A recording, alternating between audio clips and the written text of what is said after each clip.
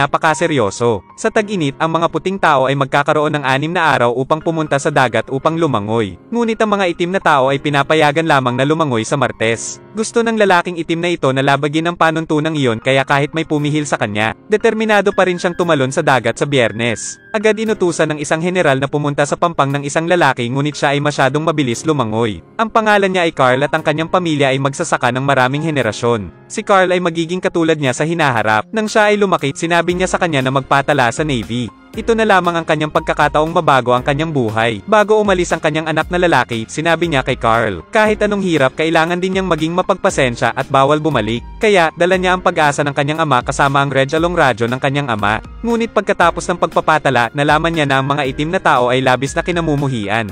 Maaari lamang silang magtrabaho ng mga kakaibang trabaho o lutuin dahil sa paglabag sa panuntunan ng militar. Nakulong si Carl sa isang silid ngunit pagkatapos nito nakita iyon ng punong opisyal. Si Carl kumpara sa iba, lalo siyang tumigas at matapang. Kaya, ipinakilala niya siya sa Naval Academia. Sa ngayon ng akademya ay nawawala ang isang mag-aaral ng koponan sa pagsagip sa ilalim ng tubig. Ngunit sa unang araw ng pagpunta sa akademya dahil siya ay itim, iniwan si Carl sa labas ng pinuno. Sa lugar na ito, ang rasismo ay seryoso din. Ngunit hindi sumuko si Carl buong araw siyang nakatayo sa labas ng gate. Sa wakas, ang pinuno ay sumuko sa kanyang deconized-nais na espiritu at pumayag na papasukin siya. Napakahirap para sa kanya na pumasok sa paaralan ngunit naghihintay para sa kanya. Kaagad pagkatapos nito, dinuraan si Carl. Nais ng hepe na magsagawa ng isang seremonya upang malugod siyang tanggapin. Ngunit sinabi ng isang mag-aaral yun na ayaw nilang makasama ang itim na demonyong ito. Pagkatapos nito, umalis ang lahat. May nanatili kay Carl dahil siya ay tanga kaya madalas kinamumuhian ng mga mag-aaral sa paaralan. Sa gabi, napilitan si Carl na magising dahil sa isang timba ng malamig na tubig ng boss. Gumamit siya ng hose na may presyon at direktang ice spray ito kay Carl at idinikit ang kanyang ulo sa balde ng tubig.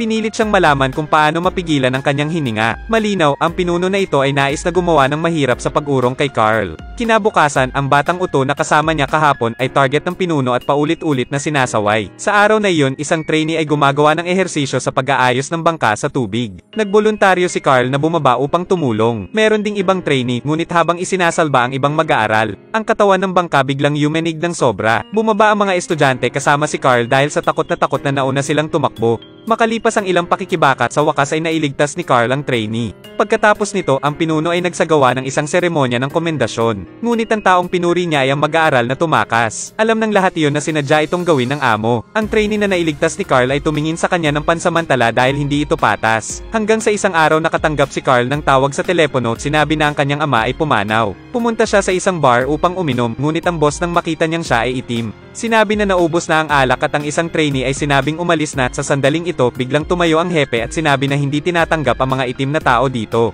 Sa oras na ito galit na galit si Carl. Nais niyang makipagkumpetensya sa pinuno sa pagpigil ng kanyang hininga sa ilalim ng tubig. Kung natalo siya, automatiko siyang mawawalan ng pag-aaral. Kung nanalo siya, kailangan nilang ipaubaya sa eskwela ang taong tanga. Pumayag naman ang hepe. Ito ay paligsahan sa hininga sa ilalim ng tubig. Kapag ang tubig ay nasa ibabaw ng kanilang ilong, opisyal na nagsimula ang paligsahan. Isang minuto 15 segundo ang lumipas, pareho ng mukha nila ay hindi nagbago ang kulay. Tatlong minuto at 10 segundo ang lumipas, nagsimulang magbago ang mga ekspresyon ng kanilang mga mukha. Apat na minuto ang lumipas, nagsimulang domyugo ang hepe mula sa kanyang ilong. Sa huli si Carl ang nagwagi bilang isang rookie. Nanalo si Carl sa isang mataas na opisyal ng militar. Pagkatapos tinupad din ng pinuno ang kanyang salita at hinayaan na bumalik sa eskwela ang trainee. Ngunit ang katotohanang natalo ang pinuno at labis na nagalit ang commander. Mahigpit niyang pinuna ang pinuno, napaiisip siya upang palayasin si Carl. Makalipas ang ilang araw, bumalik si Carl sa dorm, nakilala ang punong naghihintay sa kanya. Pinayuhan niya si Carl mas mabuting hindi siya kumuha ng exam sa graduation ng paaralan. Kahit na dumating siya, hindi siya makakakuha dahil hindi nila siya papayagan na makapagtapos. Pagkatapos makinig, sinimulan ng asarin ni Carl ang amo. Ikaw ay isang matandang officer. Kinabukasan, determinado pa rin si Carl na kumuha ng pagsusulit. Ang mga patakaran sa pagsusulit ay napakasimple, ang pagkabit ng aparatong ito sa ilalim ng tubig. Ang commander ng pinuno ay nagbigay ng utos sa pinuno upang punitin ang toolbag ni Carl. Ang lahat ng mga sangkap ay nahulog. Isang oras at 27 minuto ang lumipas, isang trainee ang nakatapos ng pagsusulit. Apat na oras at labinsyam na minuto ang lumipas matagumpay na natapos ng huling trainee ang pagsusulit. Sa sandaling ito, si Carl ay nasa ilalim ng tubig sa loob ng siyam na oras. Ang mga kamay niya ay walang tigil sa pag-alog. Ang hepe ay hindi na maaaring panatilihin ang panonood. Tinawag ang commander upang pabalikan si Carl sa pampang. Ngunit sinabi ng commander hindi pumayag si Carl na umakyat sa pampang. Pagkalapag sa baybayin, malamig na malamig si Carl kaya't naging lila ang muka. Sa sandaling ito, si Carl ay nakatanggap ng pagkilala mula sa pinuno. Pagkatapos batay sa kanyang sariling pagsisikap matagumpay siyang nagtapos sa Naval School. Bago umalis na diskubre ni Carl ang nasira niyang radyo na inayos ng pinuno. Pagkatapos sa paglabag sa utos ng militar ang pinuno ay tinanggal sa kanyang ranggo. Makalipas ang ilang taon, nakita ng pinuno si Carl sa telebisyon.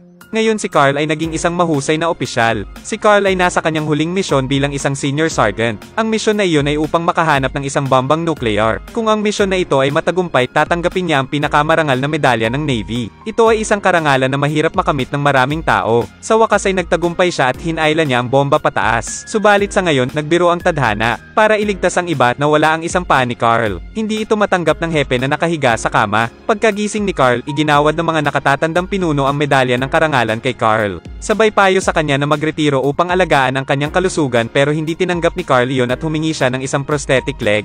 Nagsimulang magpraktis si Carl nang walang kabuluhan. Ngunit nawala ang kanyang pa, hindi makompleto ni Carl ang mga ehersisyo tulad ng dati. Sa tuwing nais niyang gamitin ang kanyang mga binti upang magsanay, ang sakit ay hindi niya matuloy. Sa tuwing susubukan niya pagkatapos ay isang kabiguan, ang puso ni Carl ngayon ay tuluyan ng nabasag. Sa oras na ito, lumitaw ang pinuno ng taong iyon. At sinabing parang may namis akong isang nakaka-interes na paningin.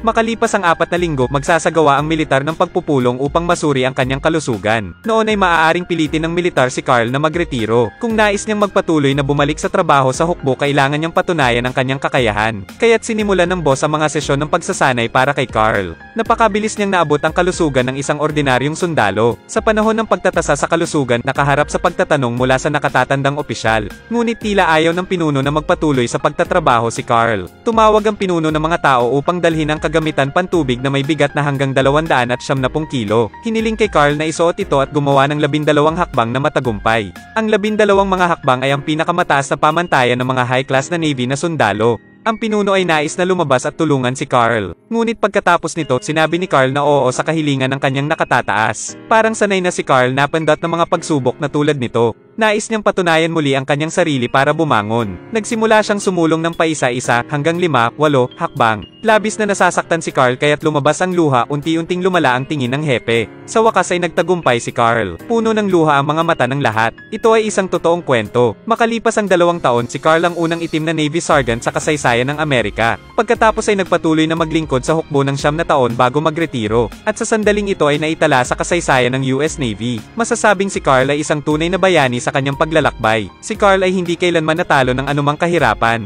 Kahit na ang sakit ng pagkawala ng isang bahagi ng kanyang katawan, hindi pa rin siya sumuko.